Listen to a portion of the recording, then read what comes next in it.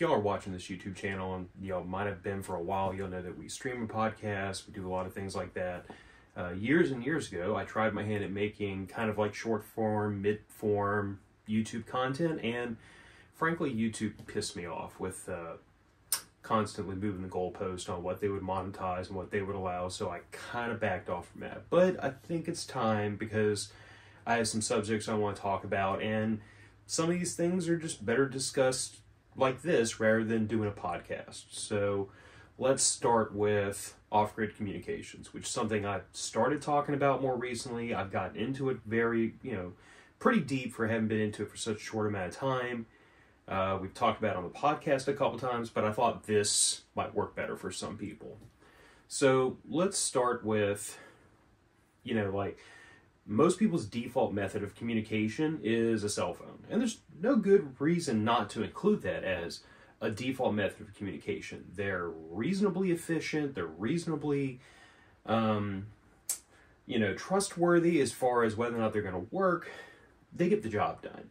And a cell phone gives you the ability to talk to people literally around the world, which most other methods of off, off-grid comms are not going to be as efficient at. So like there's no really good reason not to not to expect your cell phone to be your first line of communication. I think most people would accept that. Um, to that end, I say you probably need to, you know, plan on having something like this at the ready, little USB battery pack, charging cables, you know, like if this is going to be our primary method of communications, we should probably make sure it's going to work properly and reliably and stay charged, things like that. But what do we do when cell phones stop working? Or let's start with what makes them stop working. So most people, most people think cell phones work like phone to phone. Let's use these two FRS radios as stand-ins. Most people's thought process is I talk on my phone, it connects to my buddy directly, and it talks to them. And that's not how cell phones work. Um, skip ahead a couple minutes if this is all not, if this is, none of this is news to you, then skip ahead. If not, bear with me for just a second. So that's like a lot of the layperson's perception of how a cell phone works. You know, I, I, I dial a number, it contacts this phone that my buddy is holding, I talk to him. That's not how really how cell phones work. What cell phones do is when you dial a when you dial a phone number, it links up to a cell phone tower and it communicates with that tower and says, find my buddy and connect me to him. And then that cell phone tower routes the call through to here. So there's not really a good analog for this in the, the uh, radio world. Like, the closest thing you could say be like a repeater system, but even that's not a great analogy.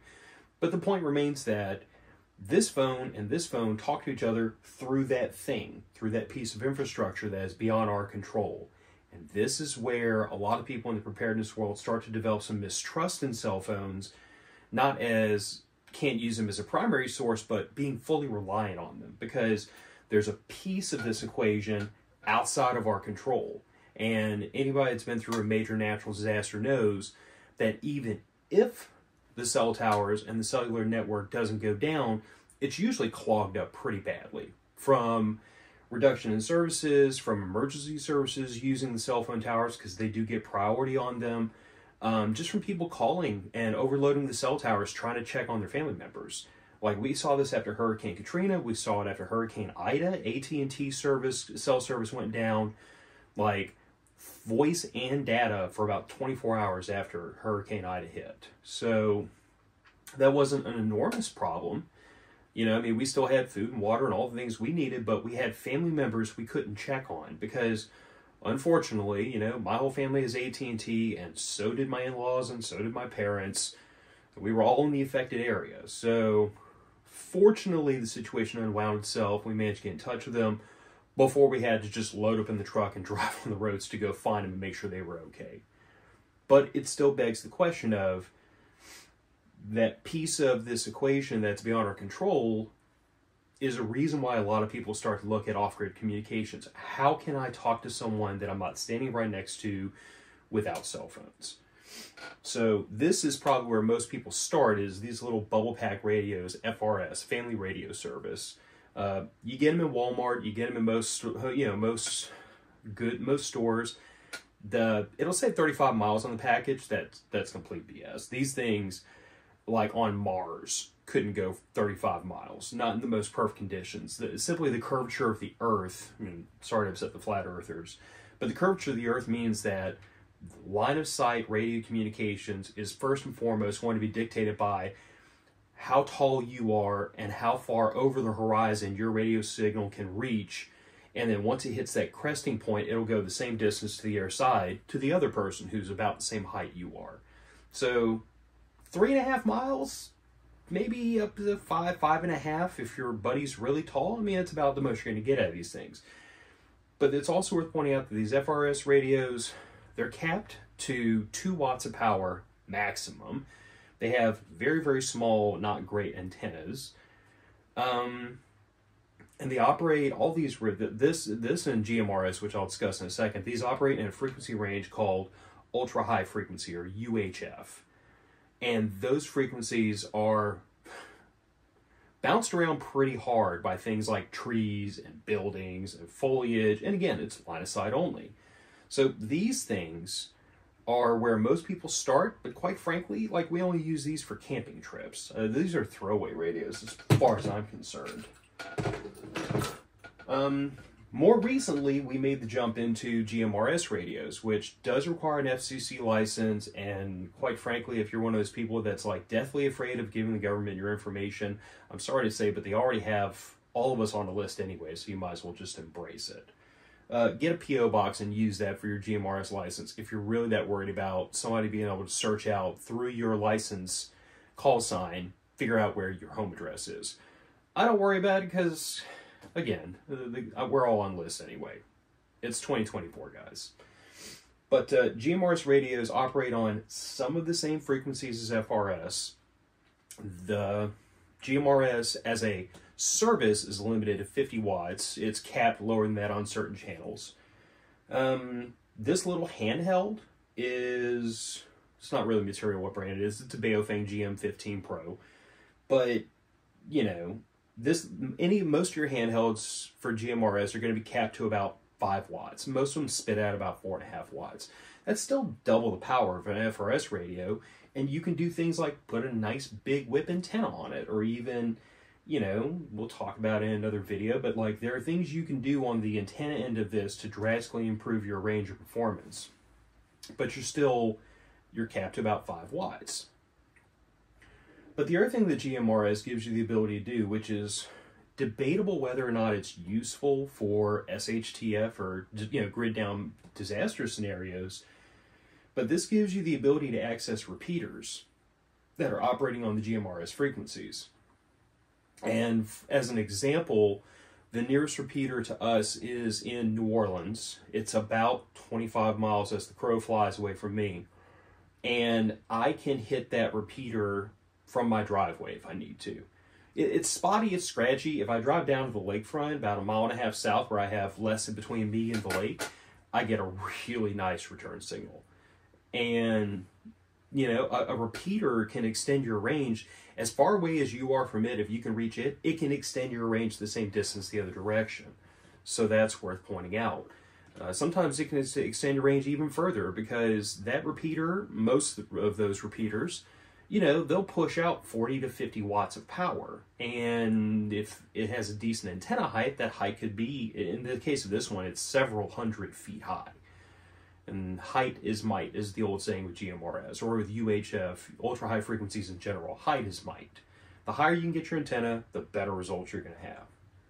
But um, those repeaters can extend the range of these little handhelds dramatically.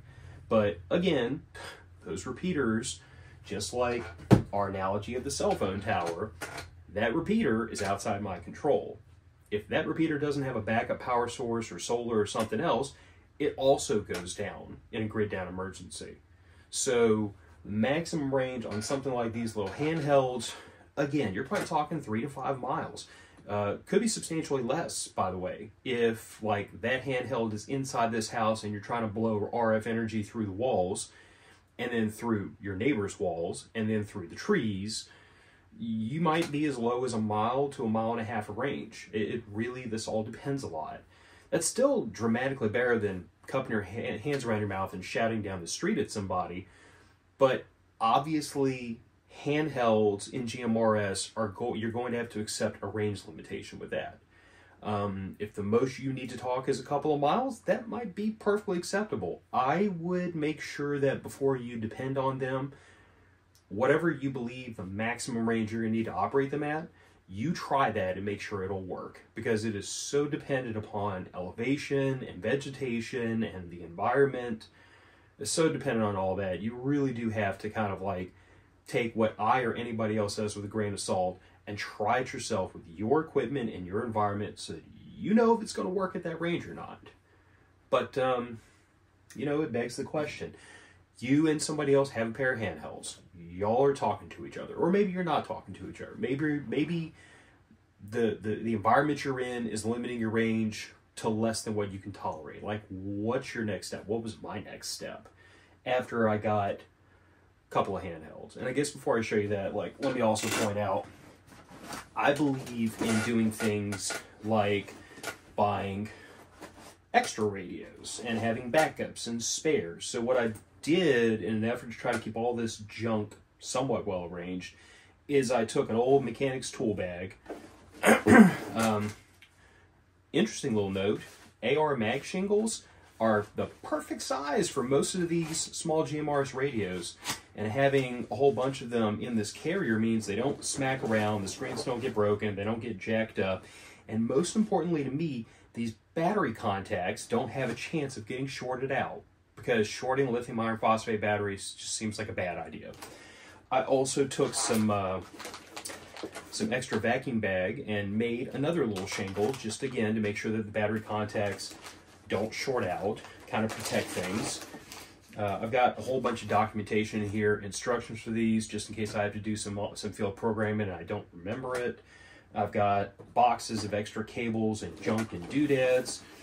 Uh, got a whole tube of spare antennas. So these are the little rubber ducks and the longer whip antennas.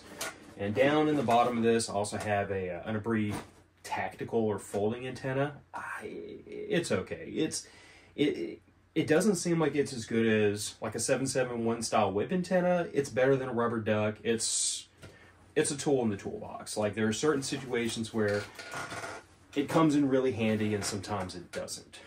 Um, I guess that's about it for handhelds. I mean, like I said, I feel like I've tried to lay out kind of like this is what your these are what your limitations are going to be with handhelds. It it's a necessary part of off-grid comms you are not always going to carry around a big bulky radio or be want to be tied to a home base station or something like that. You really need to start here. And fortunately, like there are good radios on the market that are in the that are under 50 bucks per radio. Uh, there are some substantially more expensive ones that have lots of cool features, but I feel like this is a good place to start. Um, FCC license is 35 bucks. The uh, FCC website was designed by Sadis, and uh, it's bad. It's really, really bad. If you search on YouTube, there's good walkthroughs for how to navigate the FCC's nonsense. But get get the license. And the only thing, the only reason I'm going to push people about getting an FCC license is I've heard more than one person in the preparedness community state, "I got the thing. I'll figure out how to use the thing when I need it." And I push back against that so hard and so repeatedly because no, you're not. You're not going to figure out how to use the thing at the moment all hell is breaking loose. You're going to freak out, run around like a chicken with your head cut off, realize that the batteries aren't charged or it's not programmed or something bad is going to happen.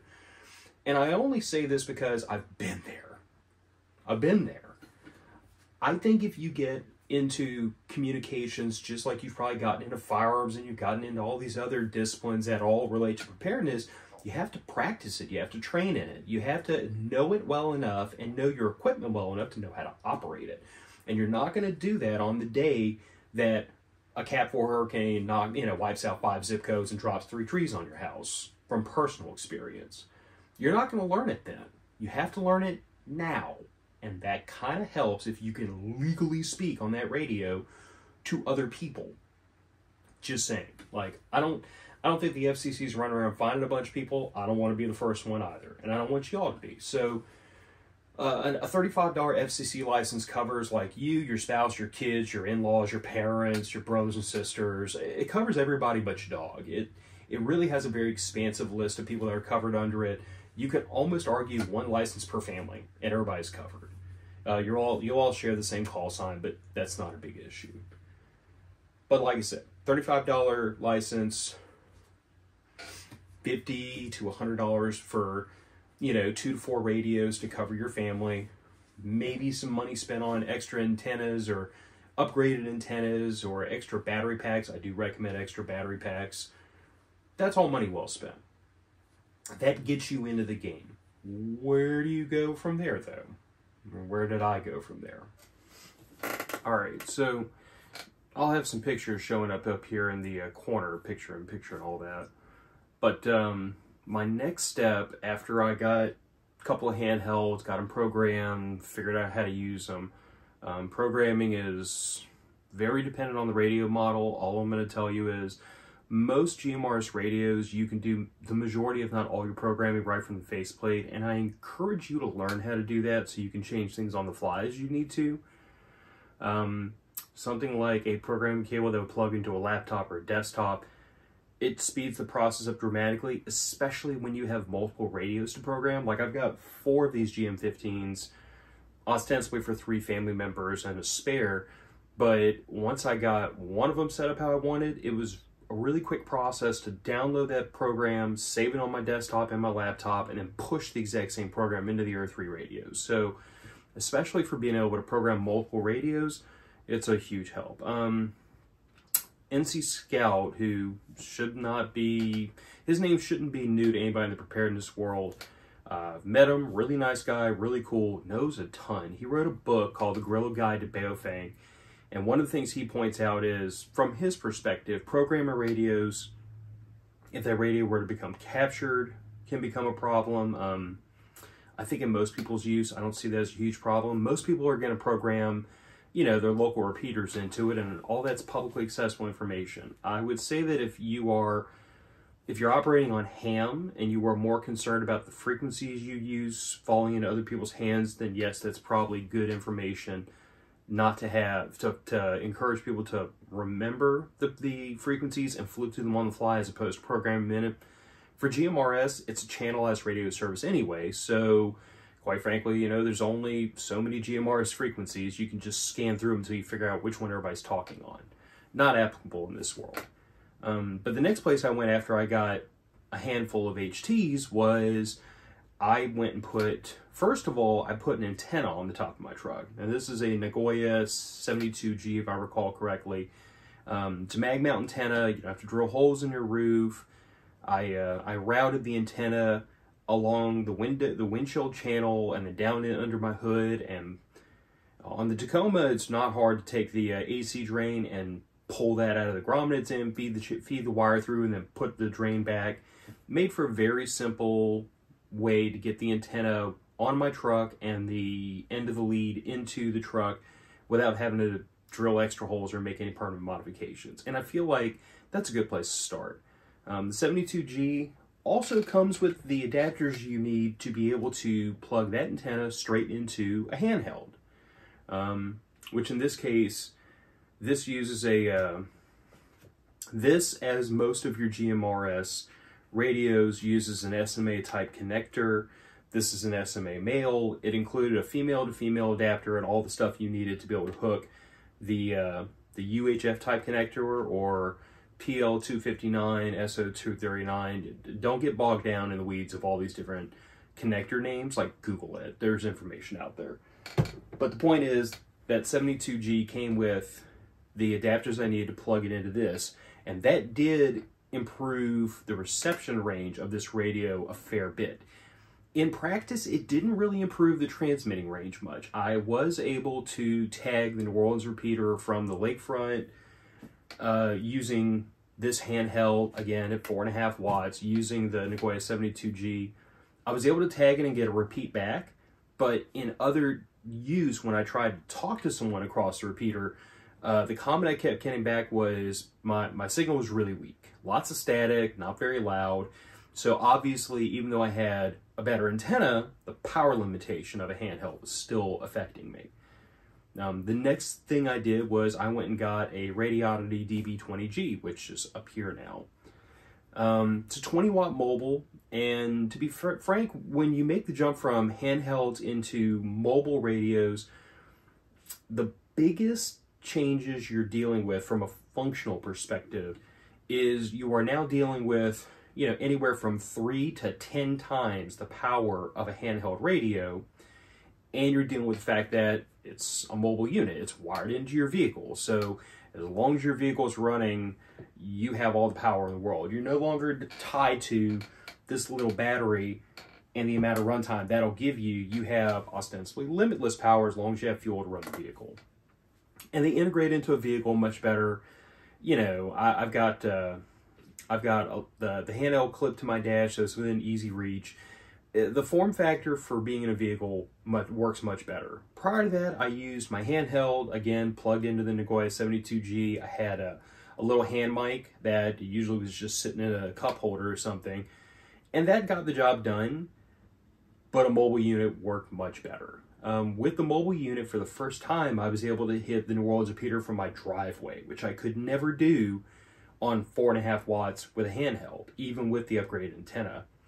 Uh, for the first time, I was able to legitimately, depending on where I was in town and how close I was to the lake, and again, the closer I am to the lake, the less stuff between me and the tower. But for the first time, I was able to have really good conversations with people on the repeater, getting strong returns, clear, clear speech. They could hear me, I could hear them. Things were working out great. So, um, that's where a lot of people go next mobile unit in the vehicle. And when you start hearing people talk about like home base stations or home GMRS units, they're literally taking a quote unquote mobile unit that most people put in their vehicle and they're hooking it up to a power supply and a permanent antenna at their home. We're talking about the same units, just different form factor. And for the people who want to have, you know, mobile unit or better performance at their home a lot of times they make that jump into a home base station. Um, since it's the same unit, we're talking about the same kinds of power, 15 to 50 watts. So what's the benefit to a home base station versus a mobile unit in your vehicle, or the fact that it's in your home and not in your car or your truck? The biggest difference here is that when, again, like we started this conversation talking about how GMRS is ultra high frequency radio spectrum, and it's line of sight and it's very much interfered with by vegetation and trees and bushes and homes and so on and so forth. So the higher you can get your antenna, again, height is might. The higher you can get your antenna, the better. And this is where your home base stations really come into play because unlike a mobile unit where the height of my antenna is somewhat dictated by the height of the antenna in the vehicle, and even that's kind of capped to a certain degree because let's call it what it is. If your antenna is too high, you start running into clearance issues. Um, things like, you know, not that I think this is a huge issue, but like drive through fast food places or low bridges, or if you're driving um, in a rural area and you have like trees and foliage and everything kind of overhanging the road, that can become a problem. It's snapping the tip off your antenna, makes all kinds of bad things happen. So there's a reasonable limit to how high of an antenna you can run on a mobile rig, but once we're talking about something at home, the limitation is you. Like, do you want to put the antenna in your attic and deal with the consequences of that, or do you want to have it in the house, or do you want to have it on a 500 foot tower in your backyard, or do you want to have it on a 20 or 30 foot tower in your backyard? Those are decisions you get to make, but the higher you get the antenna, the better performance you will get out of that exact same mobile unit in your home that was pre we were previously talking about being in your vehicle. So that would be the natural next step is I've got handhelds, I've got a mobile unit. Obviously I want to go get a home base station, except that's not exactly the route I went. And um, I'm going to reposition the camera to get a better look at what I'm, what, or to kind of get everything laid out. The direction I went is really specific to like my reasons for getting into preparedness, my personal boogeyman, the thing that I always think about when somebody says emergency or SHTF so a lot of my preparedness really centers around preparing for the thing I expect to be my biggest concern. Um, not to say that there aren't other concerns or that your concerns, if they're different, are valid. Just this is me. This is the direction I went. Um, a home base station and a 100 foot tower in the backyard, quite frankly, is just not useful to me for a variety of reasons. Um, I live on the Gulf Coast. We get smacked with hurricanes frequently, frequently. Um, we had an F2 tornado go through a town 20 miles east of me just a few months ago. We had an F3 tornado wipe out the building I worked in several years back. And I was sitting there on the first floor listening to it blow the roof off. Um, just the other night, we had a bad thunderstorm run through here. And even though the damage we had was nothing, uh, like uh, some other, not my home, but some other places in the area reported some wind, some wind damage. But like the same, the same front went through Houston, Texas last night and it knocked out power, it knocked shingles off roofs, it collapsed a crane, it did some really pretty bad things. So, given that if I have a tall tower and that tall tower gets knocked over by the wind or the hurricane or the tornado, and all of a sudden my comms plan just fell down with the tower, obviously that's not useful to me. Or if I was going to go that route, I better have a backup to what happens if that antenna goes down. And fortunately, I started down the road of what can I do to have local regional communications after a major event. And again, most of my preparedness is all based around the idea that like I don't have solar panels on my roof because if the solar panels get torn off by the wind, they're not doing me any good. So I need things I can deploy after an event and keep in storage and protected before and during the event. And that is that dictates a lot of how I do prepping. Um, some people might kind of wave that off and say that that's an unreasonable um, concern or I'm going about this the wrong way and you know you, you prep your way. Or frankly jump into the comment section and tell me how I can do better because I've been into preparedness for a lot of years but I'm still I'm still doing it to the best of my knowledge with my methods and I don't know everything. Maybe the way I went is not the best way to go. Maybe it is. But um, let me reposition the camera, let me get a couple things set up, and I'll show y'all where I went after we dealt with the mobile unit. All right, hopefully this isn't too jarring. I know the camera's really close to me, but like I'm trying to get y'all to be able to see this. So what I have done is I've and I've gone down the route of building a GMRS man pack. And there's uh there's several good channels on uh, on YouTube. Um, Tech Prepper is probably the best one I can think of. Really he does a lot of deep dives into building man packs. There's other content out there that's very good, but he's probably the most well established. But um, the concept behind a man pack is something that really comes from military radio operations. Um, in the military, you know, when I was enlisted, not everybody had a radio. Let's start there. Uh, the people that did have radios had like a whole assembly that went down into their rucksack, and that they were the radio operator, RTO, radio transmit operator. And the whole point of having an RTO so you can tell the RTO, hey, tell the rear headquarters, whoever, our higher element, the thing, and he can radio to them. And that was kind of the way it had to be done back then. Um, in more recent times, radio among squads and among individual elements has become much more commonplace. So now the RTO has really kind of graduated out of the role of I'm the only one with the radio into I am the one with the big boy radio. So instead of being the guy with the little bitty radio who can only talk, you know, short range, because we're talking about certain frequency limitations and line of sight and yada yada yada, limited power.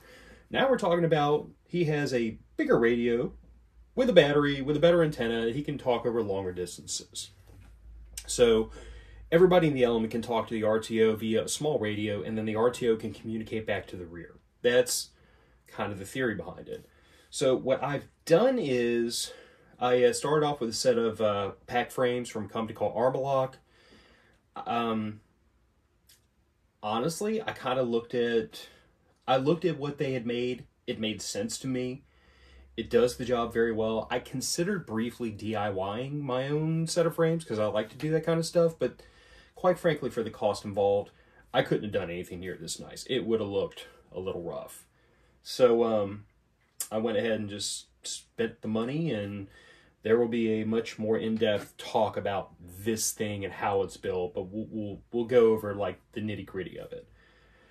So, set of Armalock frames. Uh, this is actually strapped to the little fake Pelican case that a Holosun LS321 comes in. And I've got extra cables and fuses and all kinds of stuff like that down to here. Things I don't expect to need very often, but I want to keep on board. So this not only is a standoff to make the radio stand up higher up in the pack so that the faceplate and everything is near the top, but also to give me extra storage. Thank you to one of my uh, good friends for that. Because originally I was going to do this with like a block of wood or something, and he was like, You really want extra storage? Well, he was right. I'm just stubborn. I had to figure it out myself. Um, Amazon special lithium iron phosphate battery. This is a 20 amp hour battery. Um, I've seen these done with like 7 amp hour batteries for lower power transmissions, mostly mostly with HF or high frequency rigs because they just get away with much longer distance over much less power, especially if they're doing Morse or um, if they're doing digital uh, digital packet service. They can get away with a lot less power, but to have decent range with UHF, you really need to be able to throw some power. So the need for a more powerful radio kind of drove the want for more battery. Um, I don't think I'd go any smaller than 20, 20 amp hour. Me personally, uh, that that's just me. You could get away with ten, um, except that you with smaller batteries going to be less weight, which is a good thing, and less talk time or receive time, which is not a great thing. But it's all in what what your wants or needs are. Um, 20 amp hour battery. This radio is a Wouxun uh, KG1000G because, again, as I started building this, I kind of got into the mode of if I'm going to build it, I want to build it right. I want it to work well. I want not, maybe not like premium equipment, but I want the best equipment for the money. And I think the Wouxun is the radio to beat right now. For all the other 50 watt radios out there, they all kind of left something out there that didn't vibe with me, and this was the one that really checked all my boxes. It also has user selectable power from a maximum of 50 watts transmission all the way down to 5 watts. So I can use the minimum amount of power necessary to get the contact made and save the battery, which is preferable for me.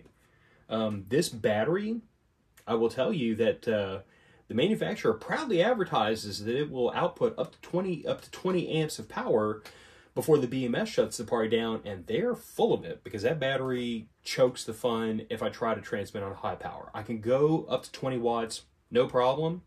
The minute I try to transmit on high power, which independent testing has shown this radio will pull about 10 and a half to amps, give or take, on high power, it immediately the BMS shuts down. So, good on your Nermak. You um, you you overestimated your BMS a little bit. Um, there's another company that makes lithium iron phosphate batteries that are very comparable called called Bioenno. They're they're very well liked in the ham in the, the mobile and the portable ham radio community for a good reason. It's a great battery. It's four times as expensive as this one, and it's on my to do list eventually. But um, being able to throw 20 watts up into the air is more than enough for my needs most of the time. Um, antenna. This is, I think this is an HYS brand. I got it off of Amazon. It's a, it's a GMRS tuned antenna. Has a BNC connector, and it fits very nicely into this relocation mount from an SO239 or PL259 to a TNC connector to a BNC connector, and then this just clips right onto the top. So if I am operating in such a way that I want to be able to like put the pack down, stand up comms quickly and if quickly and easily, I just take this out of one of those plastic tubes that keeps it protected, smack it in the top of the radio, plug my handset in, turn power on, and I'm ready to rock and roll. Um, in my experience, I have been able to hit the New Orleans repeater from my driveway using this, so I have at least the range that I have with my mobile unit and the truck mount antenna in this package what's coming, and when we do a deeper dive on this, by then I should have that other antenna option, and we'll talk more about that. But what I have coming is an N9TAX roll-up J-pole and uh, a, a, telescoping fishing pole, which will make a really nice field expedient field mask or field mast. But that will give me potentially more range because I can get the antenna up higher, and it's got better gain than this tiny little thing does. So that's that's where I went. I, I jumped all the way over home base station to build a man pack because again, it's portable, it's deployable, It can stay in the house when it's not in use. I don't have an antenna hanging up in the backyard waiting for a tree to hit it. This kind of fit my needs. And um, to support all this, lithium iron phosphate battery charger to keep that battery hot. Um, nice heavy gauge pigtail that I can plug into either the cigarette lighter port on my truck or into the power panel in the bed of the truck so I can run this radio not on that but directly off the truck. And when I do that, by the way, I'm running straight off the uh, the rear power panel in the bed of my truck. I can transmit a high power no problem. So it's definitely 110% is that battery being a pain in the butt. And then in emergency use, I even have this little pigtail, which I can just clip onto a battery with a couple of alligator leads. Um, based on how small these are, I don't think I'd really trust these for high power. But in an emergency, if I need to just bypass that battery, I don't have a vehicle handy, I can find power where I need to. And that's kind of the reason, that's kind of the way I built this was I wanted to have the flexibility to operate in different ways. I wanted to have the ability to get power where I could find it. I wanted the ability to like make this thing work when I needed it to work. And so far it seems to be doing a, a fair a fairly good job. Um, I have some plans down the road for uh, improving this, increasing this thing's capabilities. Um, maybe maybe down the road. I've given thought to putting in a, uh, a home power supply here in the office, maybe a 20 foot mast in the backyard, as long as I have a way to stand it up and lower it ahead of storms. But um, I've considered being able to turn this into a home base station, and that really wouldn't be that difficult.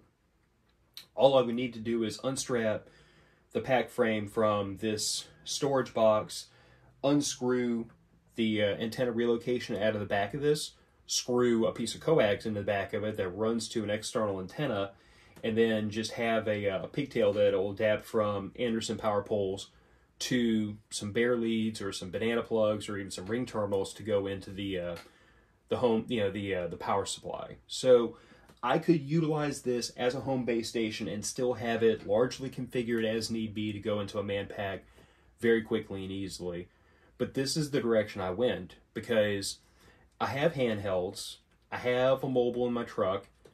I am considering building like a small, um, kind of a small radio bag for my wife to have in her vehicle so that she can quick deploy radio in her vehicle if she needs to.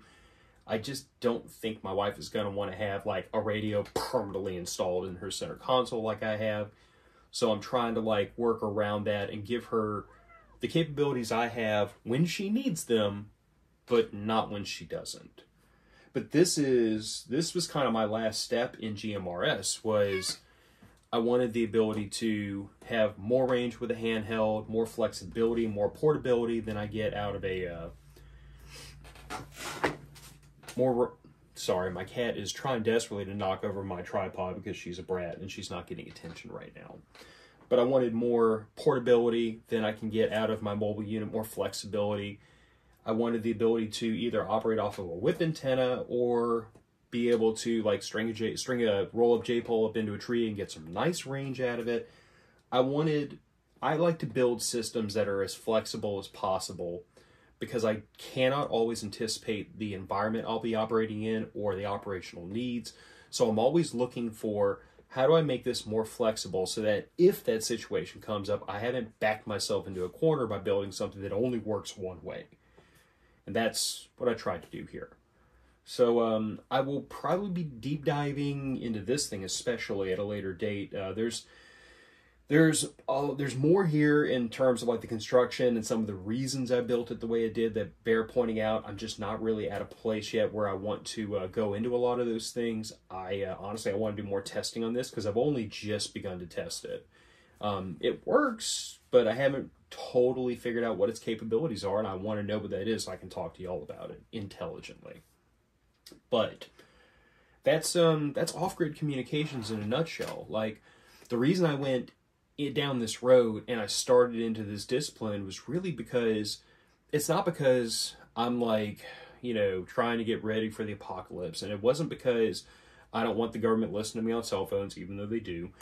It was more the f- fact that, like, in the in the same spirit of everything else I've done in preparedness, where when plan A falls through, you go to plan B. I wanted a plan B for how I get in touch with my wife. She works about four and a half miles away from home, and I work from home for the time being. So my question always was if the cell phones went down tomorrow, how would I talk to my wife?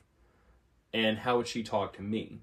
And that's what I'm working towards. Um, unfortunately, on those occasions where I have to go back into the office, I'm on the other side of the lake. So, to account for that situation, I would have to get her some kind of way to be able to talk to the local repeater, which this thing will be able to do in the very near future from here at the house. So she can get home, she can use this and talk to me through the New Orleans repeater. That shouldn't be a problem.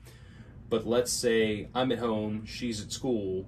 How do I talk to? Uh, what I'd like to be able to talk to her four and a half miles simplex. Simplex just meaning no repeaters, no nonsense, just me straight to her.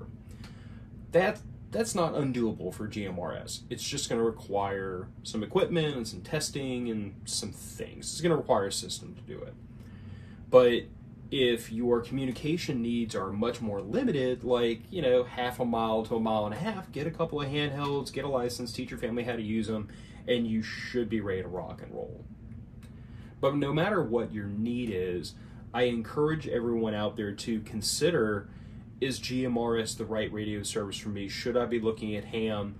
And consider the same thing I ran into. I have people that are by default in my group that are not going to get ham licenses.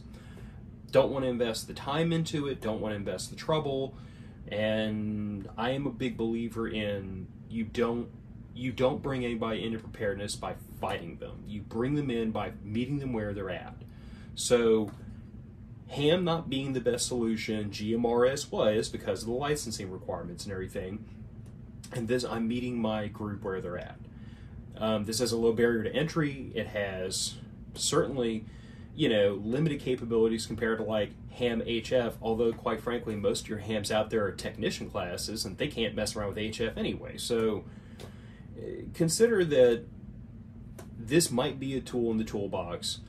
How far down that road you go is really up to your needs. Do you get a handheld and stop there, or do you wind up like diving down the radio dork rabbit hole and see how deep it is? But we'll talk more about this in the future, and I'm going to start doing more of these kinds of more more of these kinds of content where like I talk about a subject, I talk through like how I've prepared, how my family's prepared, what our thought process is. Um, in a different way than we do on the podcast, which is just me and my buddy Andrew sitting at our desk streaming, talking about things but I actually want to be able to like show y'all and demonstrate how some of these things work, how they're put together, and talk through why I did some of these things. Because some of these things just don't make sense for y'all's application, but some of them might. And the the comment I get I kept getting over and over and over specific to uh, comms is comms is sorcery. Comms is complicated. Comms is difficult. And uh, frankly, it can be. Like there's a lot. There's a lot to it but the basics that you need to have a functional communications plan are not that complicated. So that's why I wanted to start talking through like what what my, the vein I've gone into, what this offers, what are the complications, what are the limitations, and if this fits for you, then I can help send you down the road to get you know get set up this way. And if this doesn't work for you, if this doesn't fulfill your needs, I'm going to point you towards people who can fulfill those needs for you. But no matter what your no matter what your version of off-grid communications is, I'm encouraging everybody to develop an off-grid comms plan to make this as serious a focus in preparedness as we have, you know, firearms and food and how to build a fire and all this other stuff that we keep saying that hey, we in the preparedness community, you all need to know this because I'm going to tell you that when I was in the military, the things that got very, very stridently pounded into us was, you know, the old the old basics of shoot, move, communicate. Well, those are just infantry tasks, but you notice communicate's in there because if you're not communicating with your buddies, you're not coordinating. If you're not coordinating, then you're one knucklehead trying to fight another knucklehead. But if there's a whole bunch of y'all communicating, you can make all of your efforts work together and then it's really really hard to keep you down because there's a bunch of y'all working together pulling your effort together well if i can't communicate with anyone outside of earshot then i'm just one knucklehead off grid comms gives us that ability to communicate with people over the horizon outside of height of outside of what we can see or who we can talk to by shouting. And that can be an incredible benefit to your group to your tribe to your survival plan. So give it some thought. Um, jump into the comments and let me know if all this sailed straight over your head if this was way too dumbed down because some of the explanations i gave especially like when it came to like cell cell towers and cell phones i am fully prepared to admit that was like me dumbing it down as much as possible just to illustrate the point. Uh, this the cellular network is way more complicated than one tower and two phones, but I'm trying to like you know pack these things down. So um, if you want to hear more about this, more specifics, if you want to hear less about this, want me to get back onto another topic, just leave all that in the comment section, and I'll talk to y'all next time. Bye, everybody.